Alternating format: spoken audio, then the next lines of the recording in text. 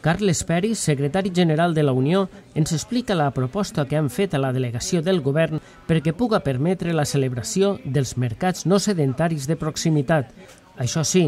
amb unes característiques molt específiques. Nosaltres, en principi, el que estem veient és que un dels sectors que està patint un impacte negatiu econòmic molt important són els productors que tenien aquesta línia de comercialització de proximitat, no? tot allò que tenia que veure en mercats locals. I a l'estar tancats, pues, la veritat és que estan passant un moment molt delicat. Per tant, hem traslladat a la delegació del govern la possibilitat eh, d'obrir-se i reobrir, reobrir aquesta línia quant abans, eh, enviant una circular a través de la Federació Valenciana de Municipis i Províncies també i la pròpia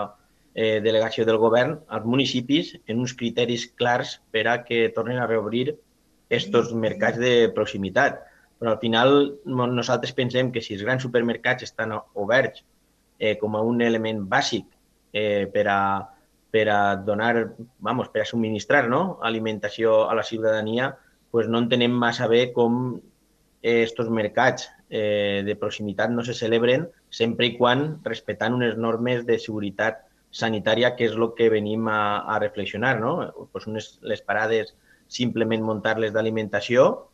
o elements eh, de primera necessitat en un distanciament de 6 metres en quant a amplària i de 2 metres en quant a en forma lineal. I després, sempre i quan també se respecten pues, aquest metro, metro i mig eh, entre persones que pogueren anar a comprar, que és fàcilment eh, se pot demarcar perfectament conforme estem veient tots els dies quan anem a, a un supermercat. Per tant, nosaltres pensem que això té que ser la línia de tornar a recuperar la normalitat molt a poc a poc i sempre fent les coses bé, doncs, complint aquestes mesures de sanitat eh, que ja estan imposades no? des de que se decretara l'estat d'alarma. El sector agrari i, sobretot, els xicoters productors estan immersos en una greu crisi i els mercats de proximitat són un canal de venda dels seus productes.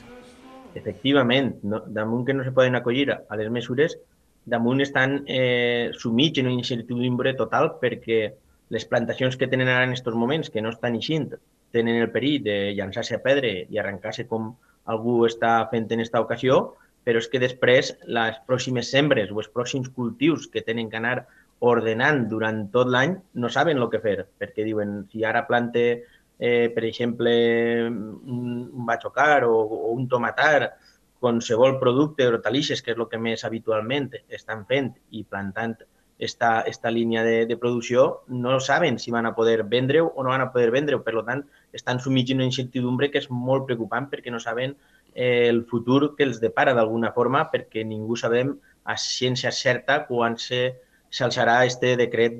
d'alarma, de, perquè al final és algo que està més que demostrat que el Covid-19 era molt desconegut per tots i prendre decisions en aquest sentit entenem que és molt complicat, però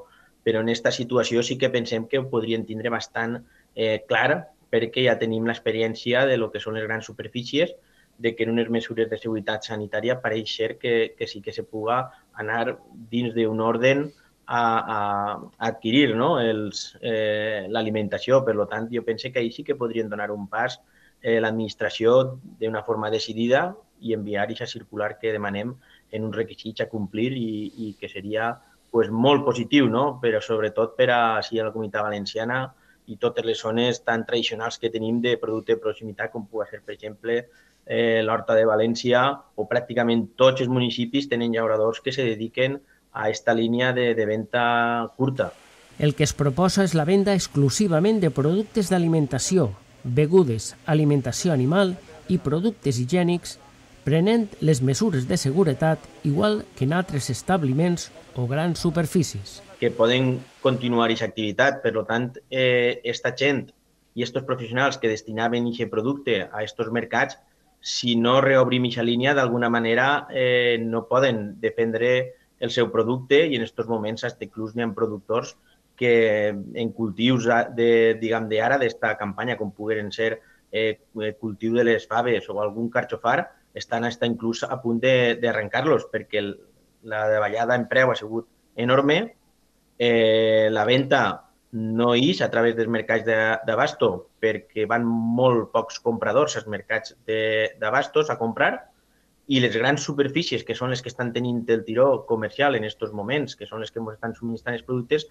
aquestes grans superfícies no fan les compres al lineal on va el producte més de proximitat que poden ser per la tira de comptar o els mercats d'abastos que estaven comentant. Per tant, això n'hi ha que intentar salvar aquesta situació conforme hem dit nosaltres en la carta a la delegació del govern. Pensem que és algo prioritari que sí que realment eh, se podria adoptar aquestes mesures perfectament i intentar anar treballant en aquesta línia pel bé de tots.